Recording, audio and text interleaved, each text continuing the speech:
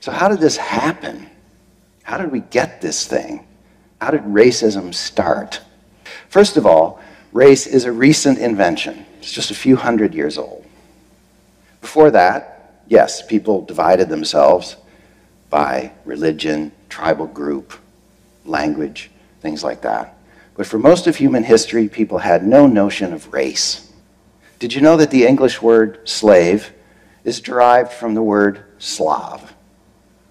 Because Slavic people were enslaved by all kinds of folks, including Western Europeans, for centuries. Right?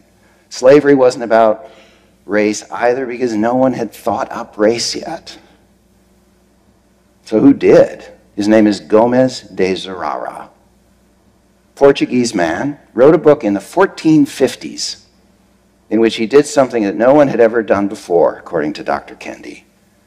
He lumped together all of the people of Africa, vast, diverse continent, and he described them as a distinct group, inferior and beastly. Never mind that in that pre colonial time, some of the most sophisticated cultures in the world were in Africa. Why would this guy make this claim? Turns out it helps to follow the money. First of all, Zurara was hired to write that book by the Portuguese king. And just a few years before, slave traders, here we go, slave traders tied to the Portuguese crown had effectively pioneered the Atlantic slave trade. They were the first Europeans to sail directly to sub Saharan Africa to kidnap and enslave African people.